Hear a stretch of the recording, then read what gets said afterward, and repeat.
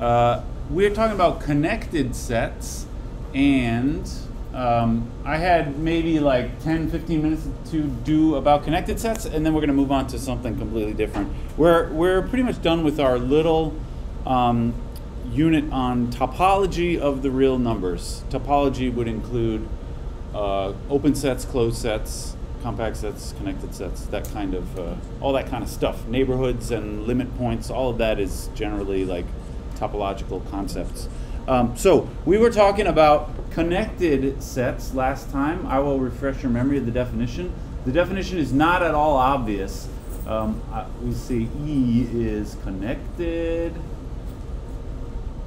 Actually, the definition is we define what it means to be disconnected first, and then you just say connected is the opposite, because it's actually easier to say what disconnected means. Disconnected uh, when you can write E equals A union B with A inter sorry A closure intersect B is the empty set and A intersect B closure is the empty set. All right. If you do that, those sets A and B, this uh, A union B is called a separation of E because you are expressing E as two separate parts. That's called a separation. So E is disconnected when there is a separation like this. And otherwise, if there's no separation, uh, it's called connected. So E is connected. Can I just say when it's not disconnected? That is to say, uh, it's impossible to make that kind of separation. All right? Any, uh, this is the definition as we had from last time. So, for example, how about, we did some interesting examples last time. How about uh, n? If I were to draw a picture, it, you know, looks like this. What do you say, connected or disconnected? Disconnected, yeah. Uh, would anybody uh, be able to tell me a separation? That is two sets where the union equals n and they have those intersection properties up there. There are actually many ways to do this with n, but you have to come up with two sets which are cover all the natural numbers but are kind of separate from each other. What do you think? Evens and odds? Okay, sure. So let's say A is 1, 3, 5, etc. And B is uh, 2, 4, 6. All right.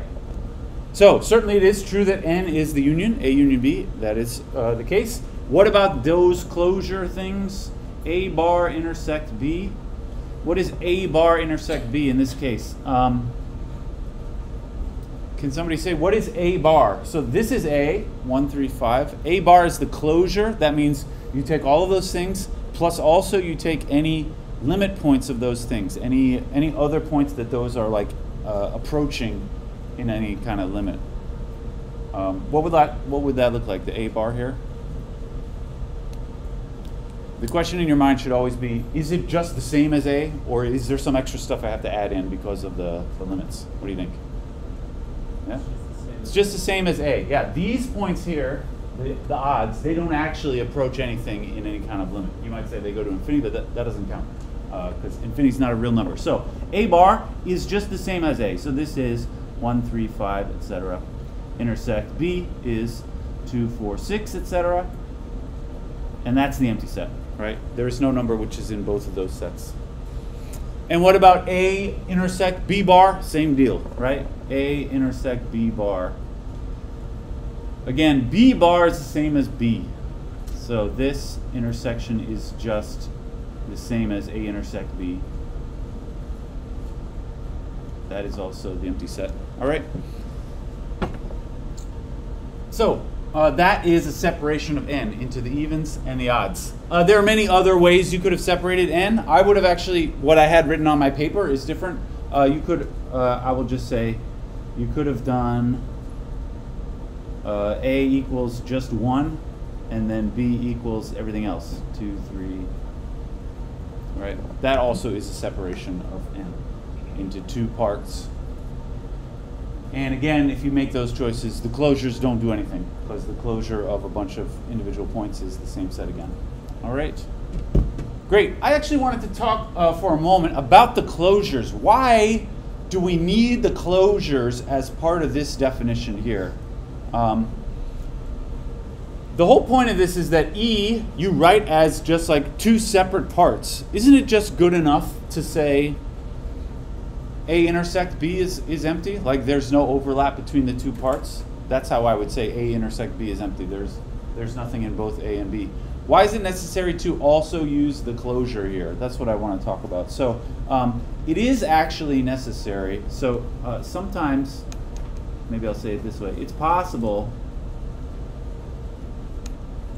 that um, A intersect B is empty, but a closure intersect B is not empty. Like this is this is uh, an important situation. Sometimes it can happen that the closure really does make a difference. Although in that example we just talked about, actually the closure had nothing to do with it. It didn't. The closure didn't matter. Um, and in many of the other, maybe all the other examples we've done, the closure didn't really matter. It, uh, but it is. There are some examples. Actually, it turns out we can. We can do say E equals A union B even for something like E equals the closed interval 0 to maybe 0 to 2. How about that? Anybody see how, how can you do this? It is possible actually to write that as a union of two separate, uh, two sets which have no overlap. Anybody see how, how that could be done? Break it into two pieces which do not uh, overlap with each other. Could do E equals A union B with an idea, yeah? It would be, so A would be, uh, zero to one, zero is closed, one is open. Okay. B is one to two, all closed. Yeah, I like that. I hope you agree. Those are actually two pieces that make up the whole thing, and they, they do not have any intersection because there's no number that's in both A and B. And they do actually cover up the whole interval. So, you know, one of them is like this, and then the other one is like this, right?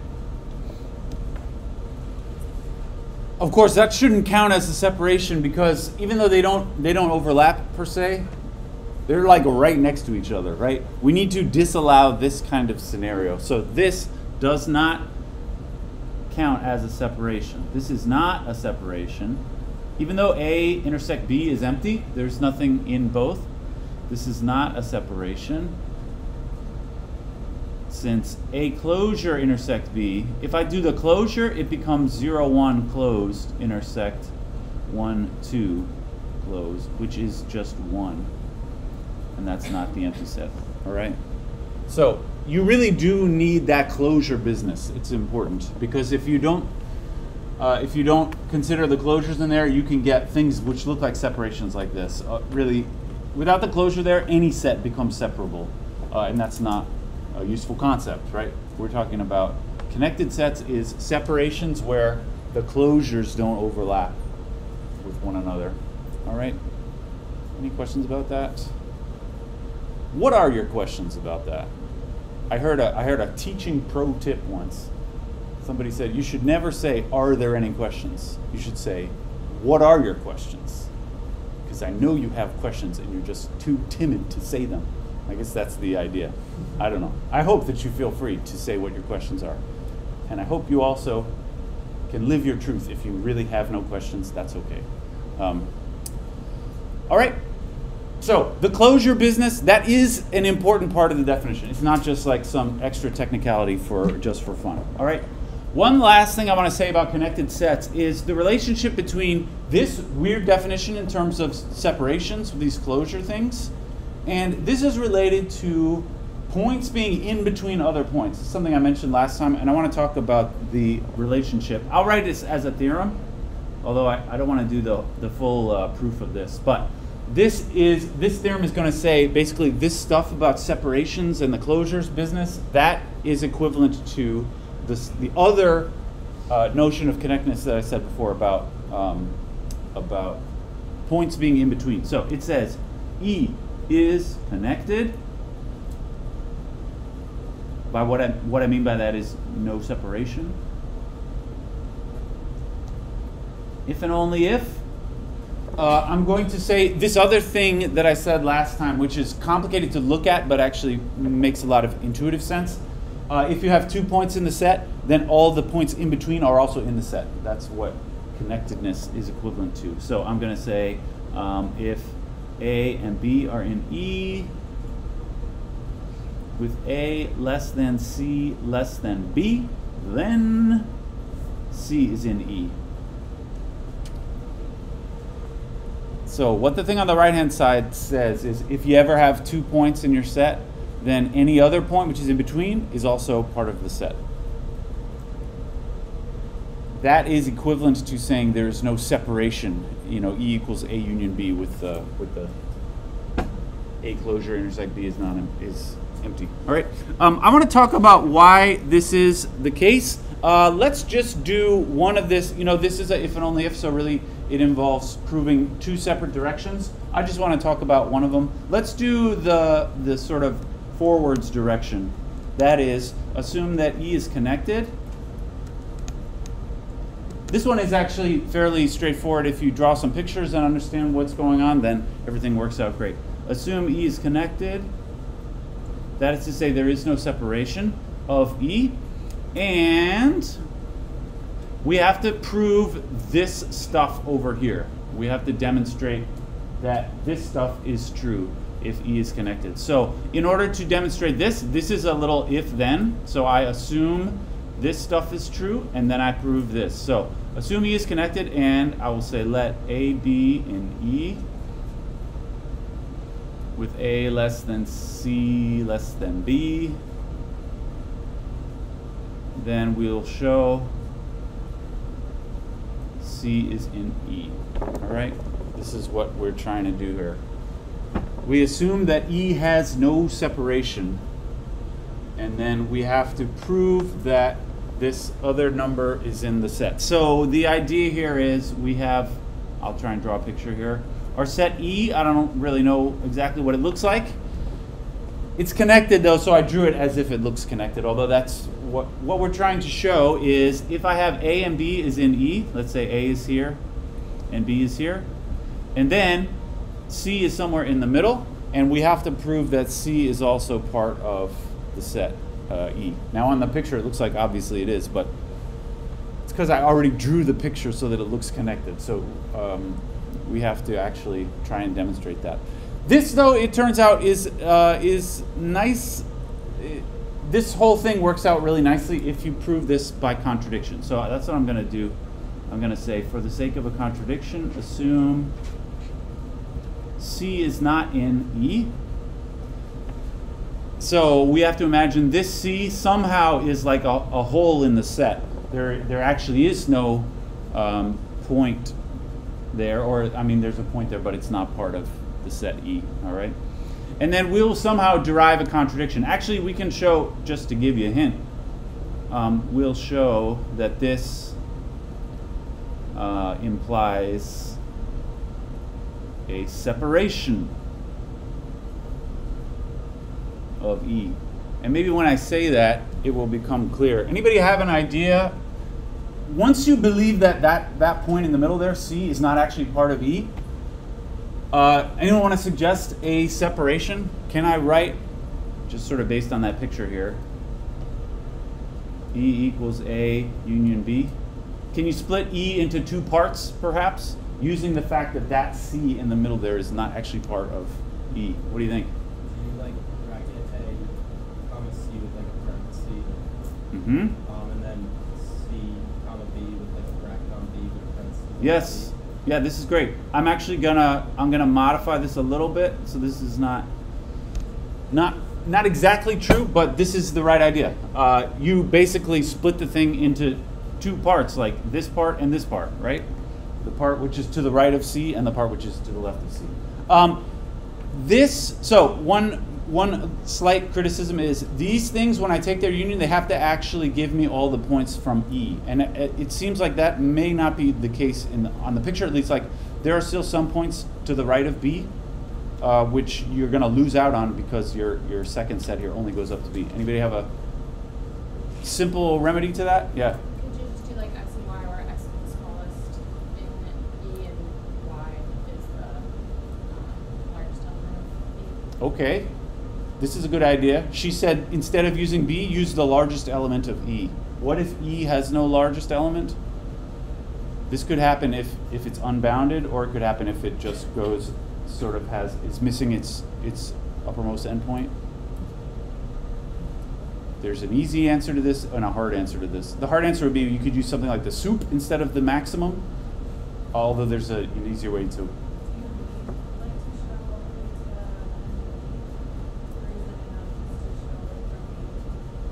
It's not enough to just put a B here because this these two sets together they're supposed to make up all of E. And so if you stop here, you're not going to get all the rest. Any Yeah, how about we just put infinity here instead? It doesn't matter if you precisely stop at the very end, does it? You just got to make sure you get them all, right? So we can go over. Well, this is another issue. Um, actually, now I got too much. A union B actually is supposed to equal this set E, but here I actually A union B is really all real numbers except for C. So um, there's another simple fix to that, though. Do you have an idea for this? This is actually a similar trick we did last time with the example with Q. Oh, Yeah, we can just for each of these say intersect E. Now I feel perfectly good about this. All right. So what this says is this is just all the numbers from E that are less than C, and then this is all the numbers from E that are bigger than C. Right? Mm-hmm. Okay, now we should verify that this really is a separation with, with those closure things. So let's just talk about what is then A closure intersect B. Uh, maybe we should talk separately about like what is A closure? A closure. Um, this is actually a little tricky to see uh, precisely, but because we haven't really talked about how does the closure play with intersections. So this is really this, the closure like that, right? Um, can you do like? Is that the same as the closure? The first thing intersect the closure of the second thing? Actually, it is. This isn't something that we talked about, but would you mind if I just use this this fact? This is a topological fact. Is that? So I took the closure of the one on the left and the closure of the other one. You might wonder, does it does that bar switch it to a union or something like that? It doesn't. Don't worry about it. Yes. is this incorrect? Uh, this one, yeah, it's because I did the closure. When you do the closure, it turns an open interval into a closed interval, and it turns. That's also why this e gets a e bar. It's the closure of e now. All right. So anyway, we have we now have a bar intersect b will be it's this thing minus infinity to c closed interval intersect e bar and then intersect b which is C to infinity intersect E. All right, but that's empty. Uh, in fact, these E's don't even matter. It's already empty because the intersection of this interval and this interval is the empty set. All these intersections, it means all the numbers which are in all four of these sets. And there aren't even any numbers in these two sets. So this is the empty set. And the other way around, A intersect B bar, for similar reasons, is the empty set. All right, so this really is a separation, and this contradicts our assumption that E was connected. All right, if you're missing one of those points in between, then you can sort of stick your thumbs in that point and make a separation of the two, the set into two halves. All right, let me just, I will write down. So um, E is disconnected. And that's a contradiction with our assumption that it is connected, right? All right. And this is the end of what I wanted to say about connected sets. Basically, this this theorem here essentially means this betweenness business here. Uh, this essentially means that I will say this a little informally. Actually, it's not informal. What I'm about to say is actually straight up true. Um, all connected sets of real numbers look like intervals because they are sets in which all the in-between points always have to be in there. And if you think about what, what kinds of sets are there in which all the in-between numbers are always in the set, there's, that's intervals. There are no other kinds of sets that have that property. So all connected sets of real numbers look like intervals. I mean, um, open or closed or like half if it's you know includes a point on one side but not the other all of those would be connected sets and nothing else is a connected set anything that's not that uh, sorry or technical technical exception or single points a single point by itself is connected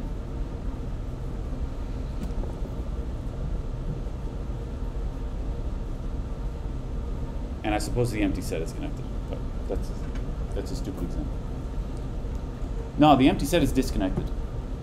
Because you can say empty set equals empty set union empty set, and that's a separation of the empty set. It's, it's too stupid to talk about, but uh, yeah. All connected sets of real numbers, they're always going to be intervals or individual points, right? This is the moral of the story. Any thoughts about that?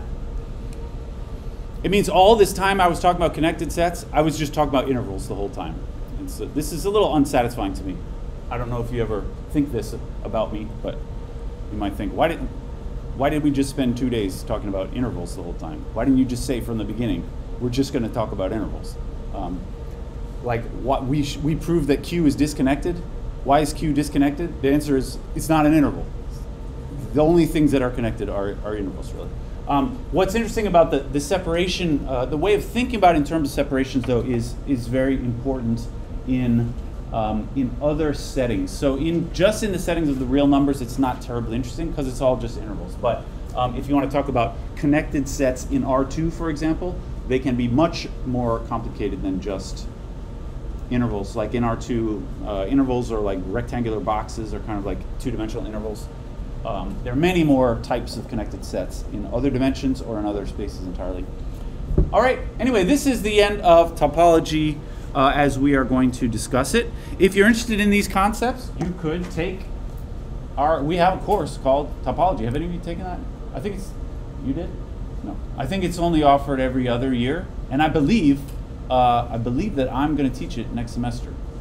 Um, I don't know if that makes you more or less interested, but uh, it's good stuff. I like topology. All right. this is the end of our topological discussion. Let's talk then for uh, really maybe the rest of the semester. We're going to be focused on functions. It's kind of remarkable we've made it this far in the semester without ever talking about functions, but it's true. Um, functions, of course, are like important, right? Um, specifically, uh, our, our initial goal, at least, for talking about functions will be specifically, I want to talk about specifically something like this limit as x goes to 2 of f of x, right? This is a kind of limit which eventually we will discuss in terms of a epsilon style uh, definition of what that lim means. But it is actually quite different from the limit of a sequence.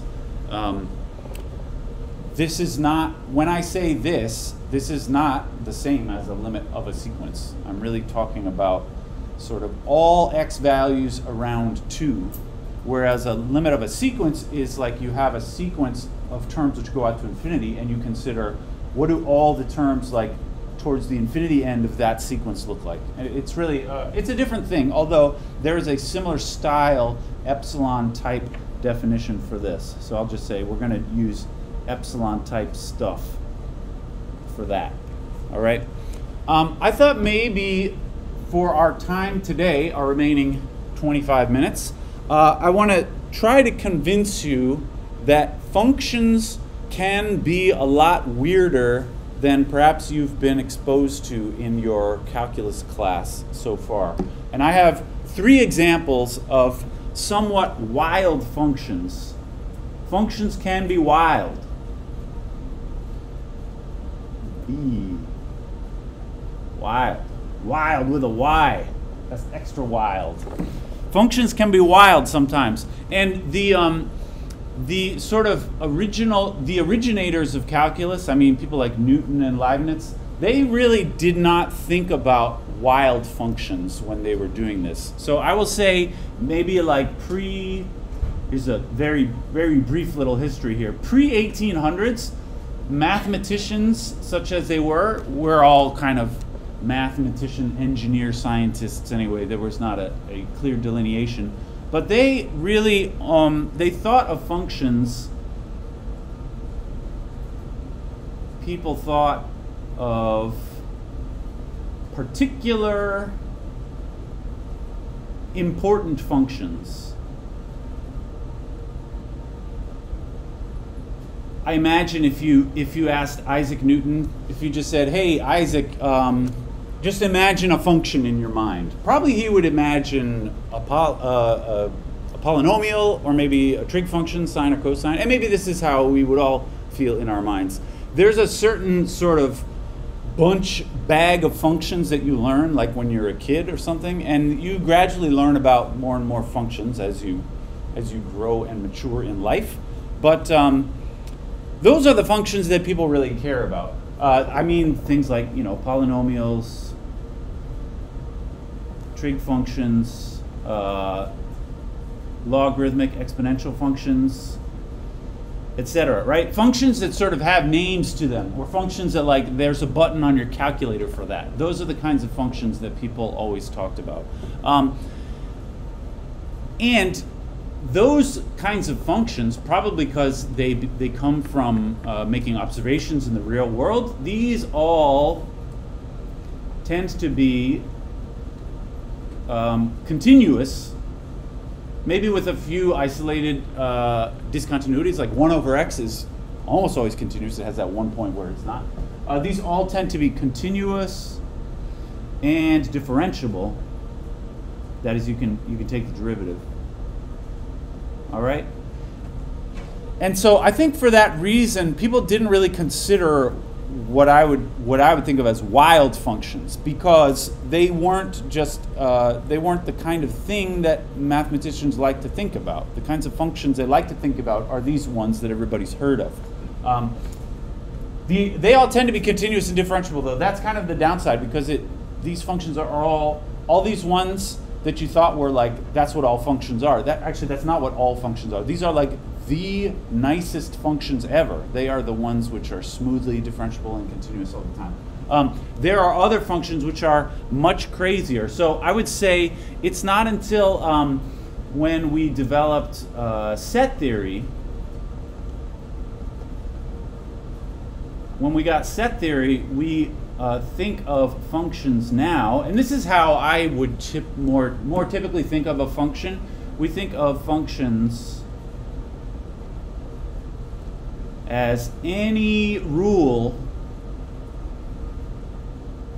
giving you know answers from some domain.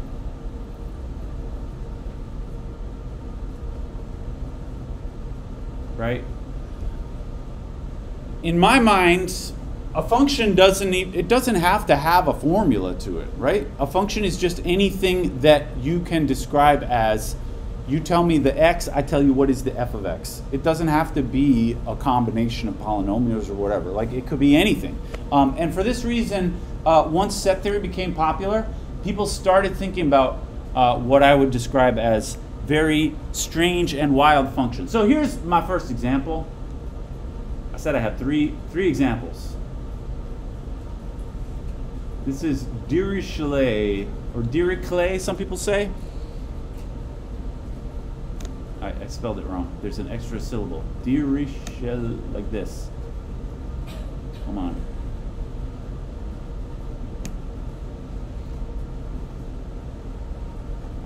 Dirichlet's function.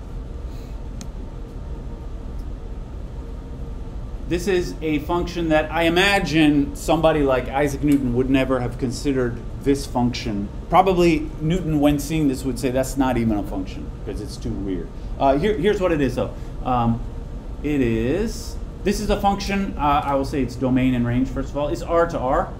Pretty much all the functions we're going to talk about are R to R. That means you plug a real number in, you get a real number as the answer. And it is this, it's defined in two pieces. One, if x is in Q, 0 if x is not in Q. All right. This is a great example function. I really like this one myself. Um, 1 if x is in Q, 0 if x is not in Q. Check it out. I'm going to try and like, can we draw the graph of that? The short answer is no, not really, but we can, we can try at least. Um, the graph looks like if the number you plug in is rational, you get 1. So that means, for instance, f of 0 is 1. F of 1 is 1. f of a half is 1, right? In fact, all the rational numbers go up here. So actually you get sort of a, a dense cloud of points up here. Every rational x value has the value 1. And every irrational x value has the value 0. What that means is you get another dense cloud of points down here, right? So this is the graph of that function. It's kind of what it looks like. All right. If you ask a computer to graph this function, you will get probably you will get unsatisfying answers. The computer would probably say it's that because a computer when you graph something on a computer, what it does is it, it just sort of uh, guesses a whole lot of points and sticks the dot where they go. But every every point that a computer is going to guess will be a rational number, and so it'll always put the dot up there, which is misleading because that's not what the real graph looks like, right? It looks like this. All right. Uh, interesting facts about this one. F is this is probably the simplest example of a nowhere continuous function f is nowhere continuous. That is, every real number is a discontinuity point of this function. This is impossible to do with polynomials or something like that. You probably, like in your calculus class, it's a typical early, you know, early level calculus question. I show you a function and I say like, where is this function continuous? And your answer is always something like, all real numbers except zero and two or whatever. Um, this is an example where it is, it is nowhere continuous. It's not continuous at any real number because nearby every individual point, um, like if I consider, say, right at zero, at zero, the value of the function is at one, but there are values, there are other points sort of infinitely close to zero where the value is zero. So that means it's discontinuous at that uh, point. All right, nowhere continuous. Okay, that was the first wild example. Second one, is just a, actually kind of a simple variation on that, but it's interesting to talk about. This one, as far as I know, doesn't really have a name. Very similar, but it's this. x, if x is in Q, and 0 if x is not in Q. All right? The graph looks similar, but not quite the same. Anyone think about this? Can you suggest what the what's the difference in the graph of this one versus that one here?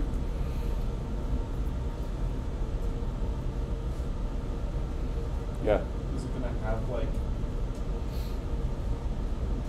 like different like it's not gonna be straight across? Yeah, this line will not be straight across. The reason this line was straight across is because of this one, this constant one. That's why it's a line straight across that one.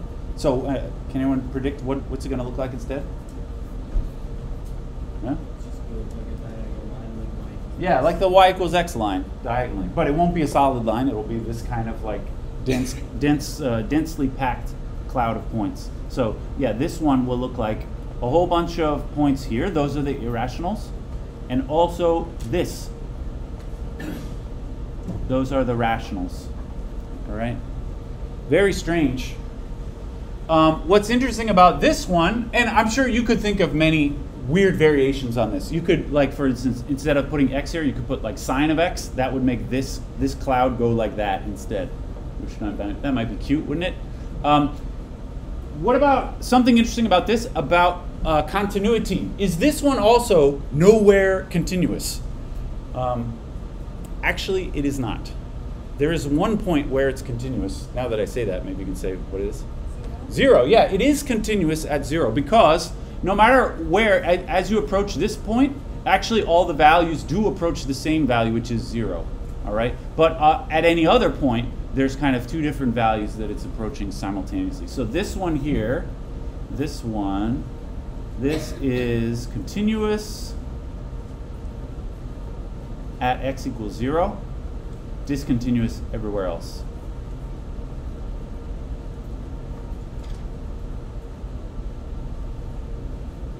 All right. These kinds of weird examples are among the things which finally convinced people that there really should be a better definition of continuity and limits, right? If you don't if you don't truly understand what continuous means at a, at a fundamental level, it can be very difficult to, for instance, prove this fact. If you are a, a kid who thinks continuous means you can draw the line without lifting your pencil, that is just that that concept is not good enough to make arguments like this, because really, can you draw your line right there without lifting your pencil, but not anywhere else? I don't know. This, this lifting your pencil thing is not a good definition. That's what I'm trying to say. All right, one final example. We got 13 minutes. This one is the most complicated by far, but it's also my favorite. This is called um, this is called Thomae's function. I don't know if that's how you're supposed to pronounce this name.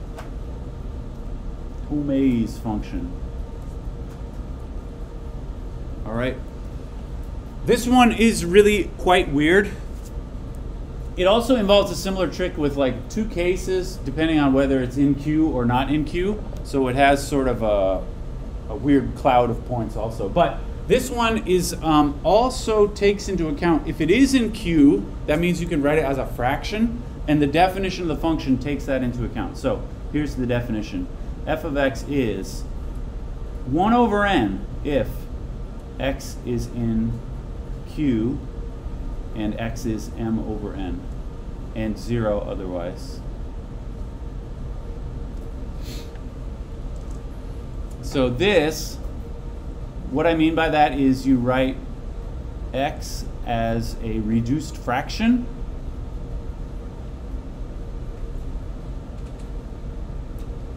But in the definition here, you use only the denominator, right? You throw away the numerator, or you, you just make the numerator equal 1 every time. You use only the denominator. All right, I would like to try to draw a graph of this. The graph doesn't look like a curve or anything like that, but uh, it is quite interesting to try to draw the graph. I hope everybody sees how you do this function. So if it's irrational, the answer is zero. If it's rational, you write it as a fraction and you just take the denominator. All right, not so crazy an idea. It's a little weird. Anyway, uh, for example, um, can anyone say what is, say, f of a half? What do you say? It is a half, yeah. You take this fraction and you change the numerator to a 1. Well, it's already 1, so this is a half. All right. How about f of uh, 3 halves? What do you say? Yeah, also a half, yeah. How about, um, let's talk about uh, f of, maybe I'll try, as, as I'm doing this, I'll try to draw a picture here. Um, f of a half, I'll put 1 here. This is a half. This is 3 halves. So f of a half is a half. I'll put a, a nice looking point right there. f of 3 halves is also a half. All right. How about f of 1? It's also 1. Yeah, you would write write the uh, write 1 as a reduced fraction. It would be 1 over 1. And then you only use the you turn the numerator to 1 is 1. All right. So this is 1 like that. f of 0 I would say is kind of ambiguous because 0 doesn't have a um, a unique way of writing it as a fraction. Can we just not let's just not talk about 0. Um, I really would like to focus only on this portion of the graph. So let's just look between 0 and 1. um, what does that part of the graph look like? Uh, let's talk about the thirds. f of one third, that's one third, right? And f of two thirds is also one third. You always just take the numerator to be one. So this, I would look, uh, one third is around here, right? And two thirds is around here. Something like that, all right? I'm just trying to fill in some rationals. What about fourths? I could do f of one fourth is one fourth. f of two fourths, actually that's a half. Like two fourths is a half, so I get a half. I, I already put that dot on the graph. f of three fourths is one fourth.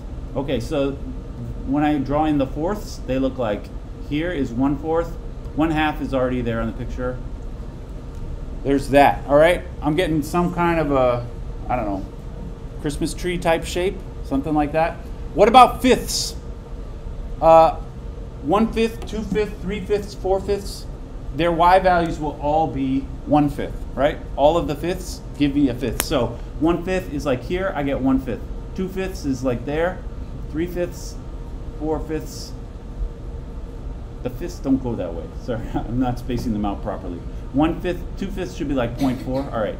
Then another fifth here and another fifth here, right?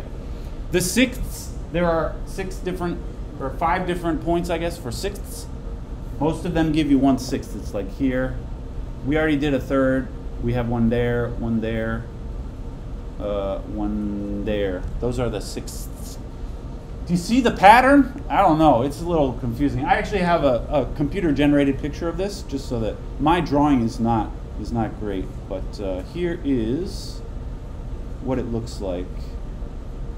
It looks kind of like that. So on this picture, come on now. So this point right here is a half. All right? And then all the other values go like that.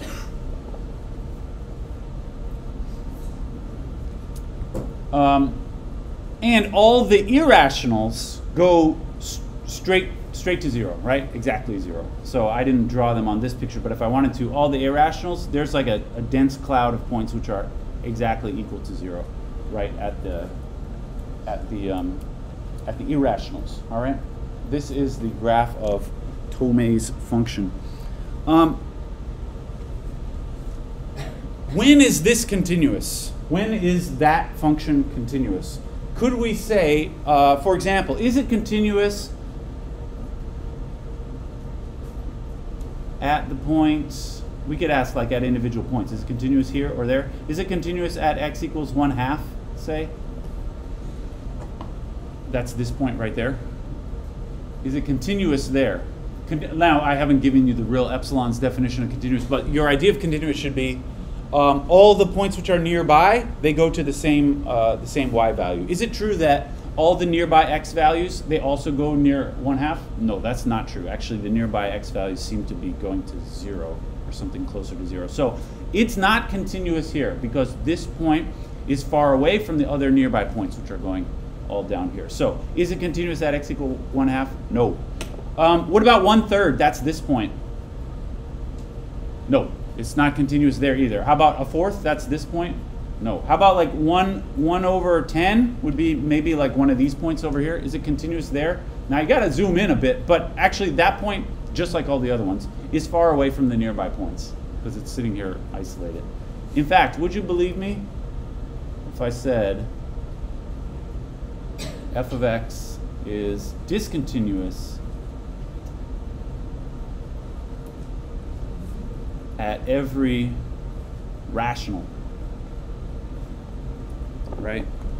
Because the rational values are the ones that make these like individual floating points. And those are all discontinuities. If you have an individual isolated point like that on a graph, it's not continuous there.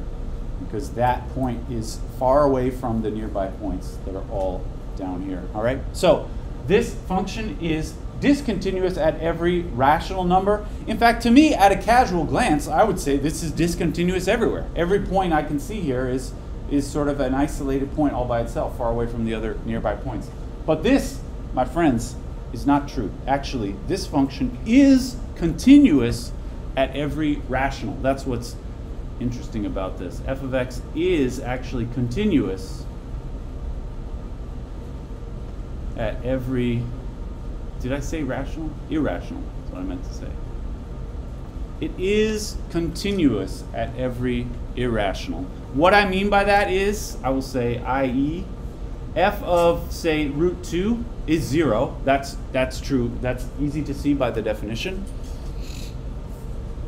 But it is also true that any rational number really close to root 2, its value is really close to 0.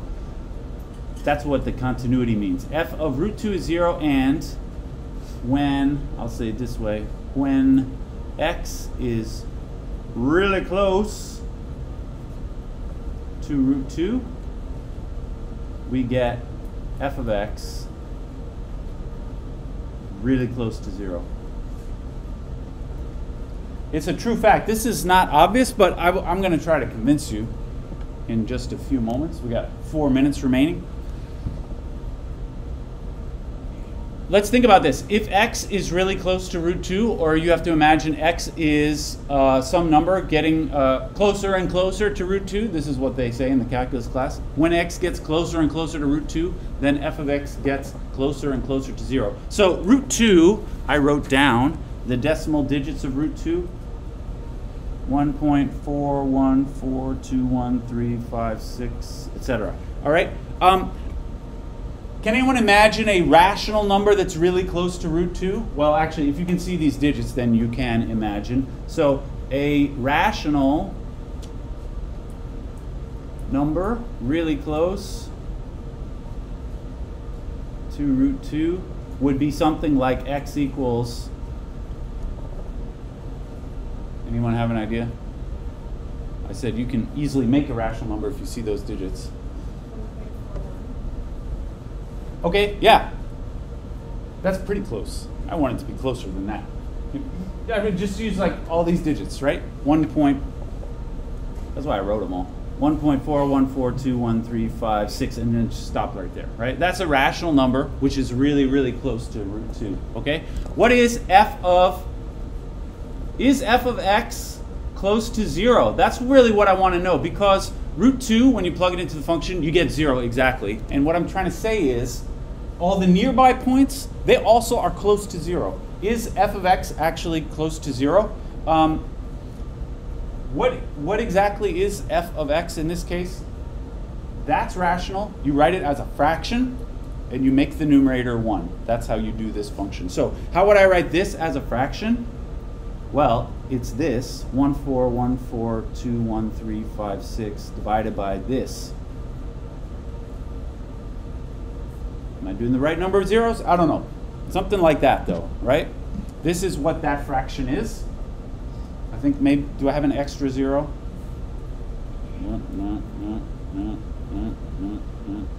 Yes. No, that's right. All right? Now, this is not in lowest form. Remember the definition of Thomae's function is you write your fraction in lowest terms, and then you change the numerator to a 1. Um, I reduced this though on my uh, on my own time. This I decided is equal to this fraction. It reduces a little bit, although not a whole lot. 2828427 divided by 2 million. All right, that's a reduced fraction now. And so f of x is 1 over 2 million, which is indeed close to 0. All right? The fact is, if you want a point very close to an irrational, you must use a giant denominator in its fraction. This is just a fact about irrationals. If you want a point that's very close to an irrational, its denominator must be huge. And so that means when you plug it into the function, its value will be close to zero. All right? That's why this function is continuous at all the irrationals, discontinuous at all the rationals. Very weird. Just scroll down to the bottom. Yeah, sure. All right. See y'all on